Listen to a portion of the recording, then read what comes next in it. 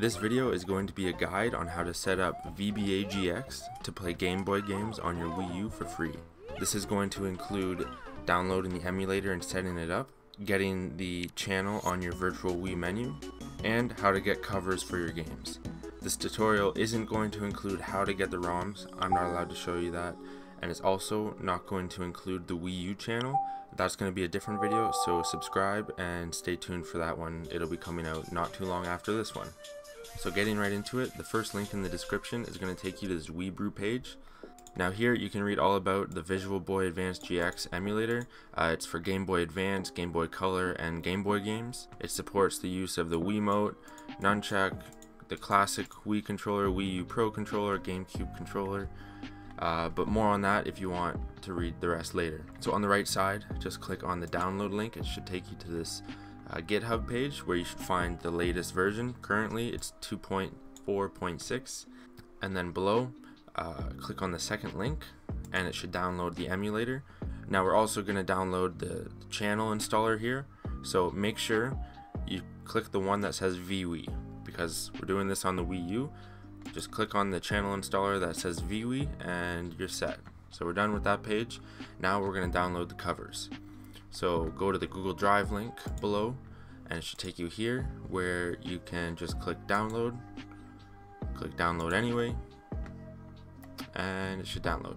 You will need uh, an extraction software. I use WinRAR to extract the zip files. But once those are downloaded, uh, just pull up your SD card and we'll get it set up.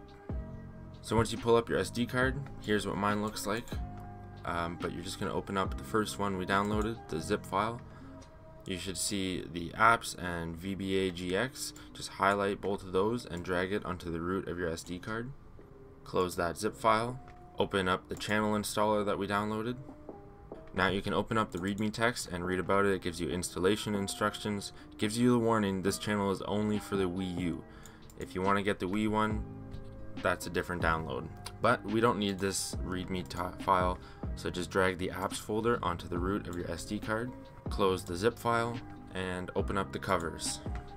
Or before we drag that on, we're going to go into the VBA GX folder on the root of your SD card, and you see there's no covers folder yet. But on the zip file, go into the first folder, you'll see that it gives us apps and VBA GX. We're going to go into the VBA GX folder and just drag this covers folder into that spot on our SD card. Now this might take a little longer because it's a larger file. It has a huge, huge number of games. I think, oh, 4,000 it looks like. so just let that transfer over. Now you don't need all of these games, but I'm just putting all of them on in case I want to add other ROMs to my collection on there. Then I'll already have the cover. But you can go into the covers and just find which ones you want and go with that. Alright, so it's transferred over. If you go into that covers folder, you'll see there's a 2D folder, a 3D folder, and then these miscellaneous ones. So if you go into the 2D one, it has an entire list uh, for obviously two-dimensional, and then uh, 3D, three-dimensional. We'll be able to choose which one we use when we get on the emulator. I'll show you that later. But you can exit the zip file and now we need to place the ROMs in the correct folder. So on the root of your SD card, go into your VBA GX folder, go into your ROMs, and then if you have any backed up, this is where you're going to put them. So I'm just going to throw a few in there right now. Now these can be played just as a zip file, so you don't have to extract them. Now your ROMs, if you want the covers to show up on them, they need to be spelled the same as the corresponding cover. So this one, Kirby and the Amazing Mirror, USA. Let's go see if uh, it's about the same. So let's just search up Kirby. Kirby and the Amazing Mirror. Uh, it just has a U, so we're gonna go change that. This is one downside to the Game Boy covers is they're not all spelled as the zip file is. So uh, we'll just rename this U and then I'll show you what I mean on the emulator if these are spelled differently than their corresponding covers. So as you can see here, Mario Kart Super Circuit uh, is also spelled that same way with a U in brackets. So I'm not going to change the ROM for that one and you'll see that it might not show up. But Super Mario Advance, I think it's also spelled the same, so we're just going to change that as well. In summary, if you want the covers to show up on the games, they need to be spelled the same as the ROMs, so you might have to go in and change a couple things for that to work. So once you're done all that, your SD card should look like this. In your apps folder, you should have your VBA GX with these three files, that's our main emulator. You should have VBA GX channel installer with these files. And then back on the root, you should have VBA GX with covers like this, ROMs, and that's it. So we're ready to head over to the Wii U. I'll meet you over on the virtual Wii. Now over on your virtual Wii, we're gonna go into the homebrew channel, start it up, and then once your apps load, we're gonna find VBA Visual Boy Advance GX. And let's start it up. So as you can see, we're in the emulator now. That's good. We just needed to make sure it works and just exit and we're going to go install the virtual Wii channel quick. Back in your homebrew channel. Now to install this channel, you're going to need patched iOS 80 installer for the Wii U. Uh, I did that in my homebrew Wii U video, so you can check that in my Wii U homebrewing playlist if you don't have that already. But anyways, let's go into the channel installer and load it up. And then it should give you this prompt to do you want to install this channel? Click install and it should install this pretty quick. Press OK when it says successfully installed.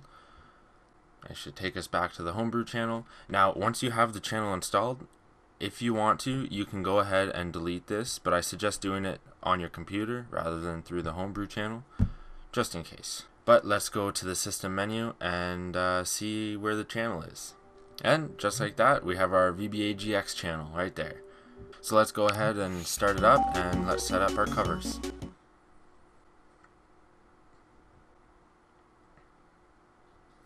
that loads pretty quick. So the covers don't automatically show up.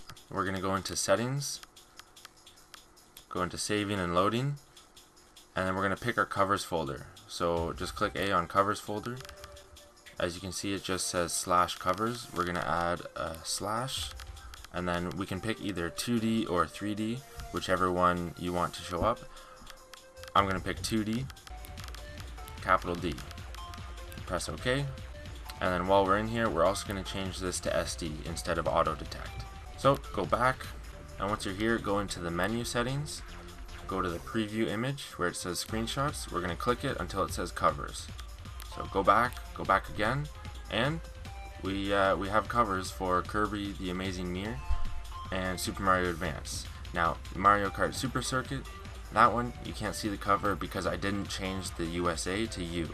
So the file name is different than the name in the covers file. So if they don't show up, just make sure they, they're spelled the same because it'll automatically associate the cover with the ROM as long as they're spelled exactly the same. So now that we have the covers, uh, let's start up the game and I'll show you how to save and load.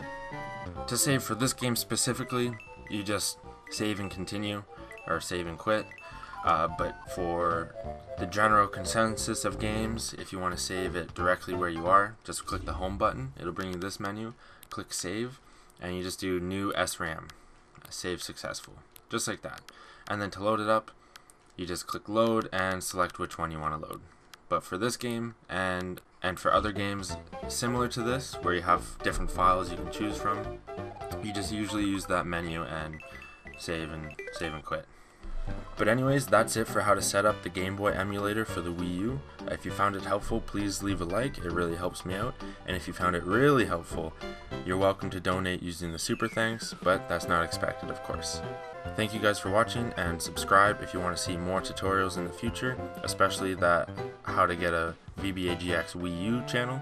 And then also, there's a link below if you want to use my Discord. And also, uh, if you're interested in the products I use, they're linked below. And if you want to join my Discord, that's also there. I'll see you guys on the next video. Take care.